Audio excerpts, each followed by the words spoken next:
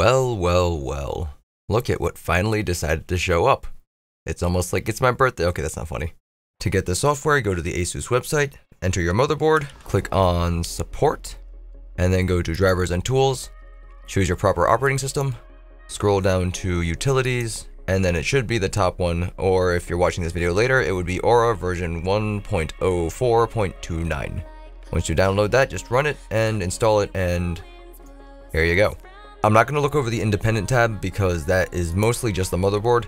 We'll start with the static effect because that seems pretty basic. You can turn the lights off by just clicking off if you so choose, but we're not boring people so we won't be doing that.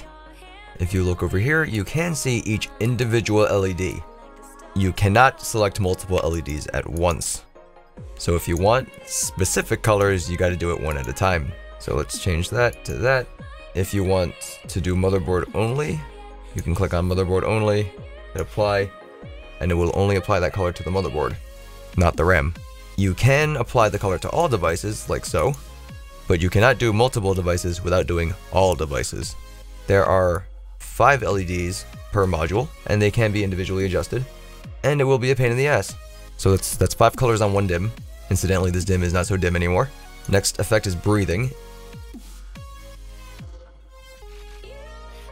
Color cycle requires no user input, so you can just hit apply and it'll just go.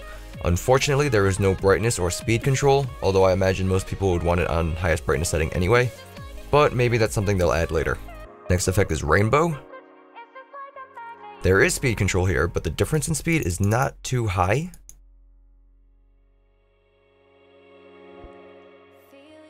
So you can do a normal color cycle, or you can do gradient. And for gradient, you select these little dials and you drag them and it'll choose only colors within the highlighted region. So here it'll be anywhere between yellow and pink. So if I hit apply, all yellow and pink, very sunset colors. If I hit reverse, it'll just basically reverse the cycle. It'll just go backwards. If you change the sequence, it'll basically change the order. So if light is going from the IO to the RAM, it'll just reverse it. Next effect is Comet. I'm going to change the gradient to something a little different this time, so it's a little bit of variety, I guess. We'll do purple and green. Pink and green, purple and green. And if you do the single color, it'll choose whatever colors you individually set the LEDs to, so that's why that first DIMM is kind of all wacky everywhere. There are also speed controls and you can adjust the sequence, though the sequence is actually adjusted differently this time. Instead, you get this list where you can move things up and down to adjust the order. Although I imagine for this particular effect, it's not going to make much of a difference. Next effect is Flash and Dash.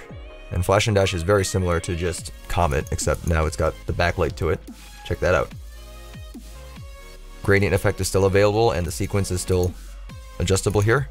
And you can also change speed if you so choose. These look better on the fastest settings, they look smoother. Next effect is strobing. Now you get the first sequence adjustments here where you pick one or two. And this is really not a strobe, it's more like kind of a a blink, alternating blink. Yeah, you get the point. This one will react to the temperature of your processor. And the speed adjustment here is for kind of a blinky, breathy effect.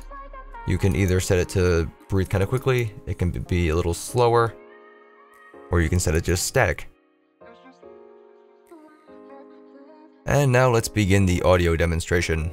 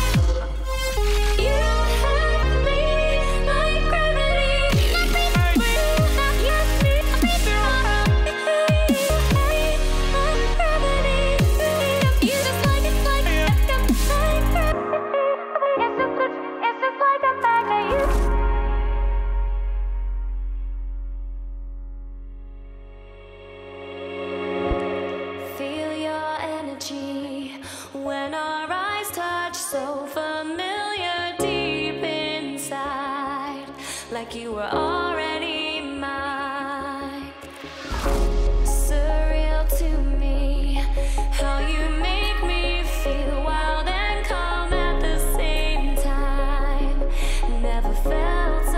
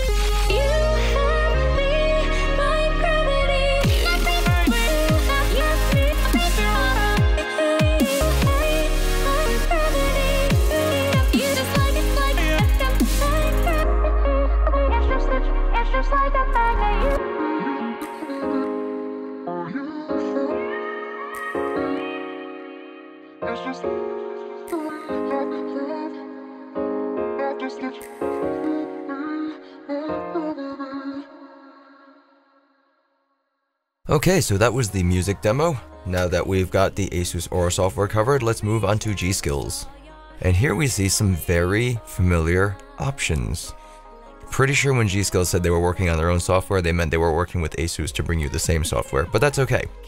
This software is basically the same exact thing, minus motherboard controls, which is fine because if you don't have an Asus motherboard, you don't need those anyway. Therefore, you can just get away with this. It's got the same music settings, temperature, strobing, flash and dash, comet, rainbow, color cycle, breathing, and static.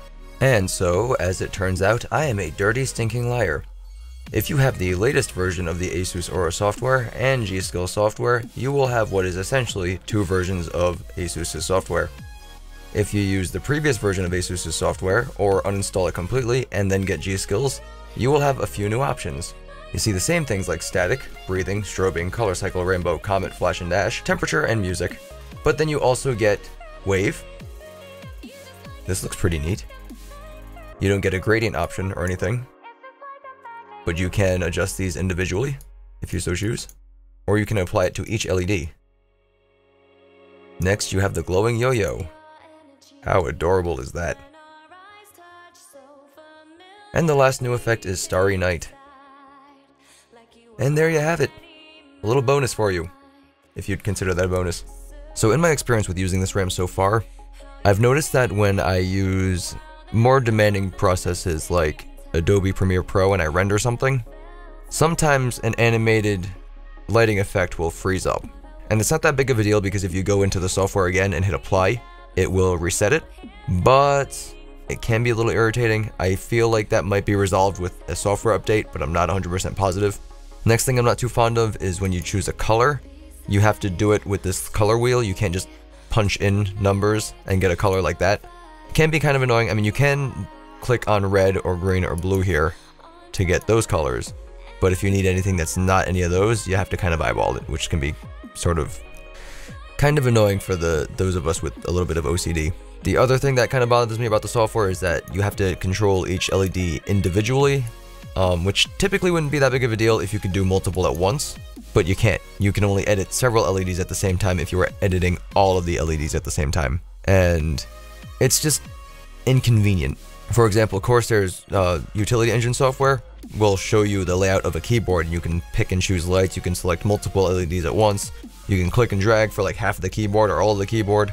If G-Skill or Asus would want to do something like that, I probably wouldn't complain. But other than that, this software is still in beta, so it's fairly prone to crashing. It's not too frequent though, I've only had it happen maybe four times in the past week or so. But again, it's still in beta, so I imagine that will get fixed sooner or later. So that's all I have to say about that. Like, dislike, comment, subscribe, share, leave me questions if you've got them. Thank you for watching. My name is Steven and I am a little dim. Bye bye. It's not too frequent though. I've only have haven't. Ha- I don't remember where I left off. I'm kind of just doing the script off the. I, there's this one's not scripted. This one is just me talking.